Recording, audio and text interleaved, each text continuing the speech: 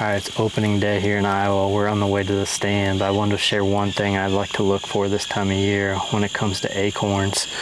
As you can see behind me, there's a this is a white oak. This area has a lot of swamp white oaks, but once we get up in the timber, there's a lot more white oaks. Um, but this tends to be the preferred acorn, at least in my area here in the Midwest. Uh, the white oaks drop a little bit earlier and that makes for a really good early season target. They're dropping right now. This this one has quite a few left on the tree, but if you look on the ground, there's a bunch on the ground too. So, you know, you hear guys this time of year saying their deer have disappeared, they're on, on the acorns.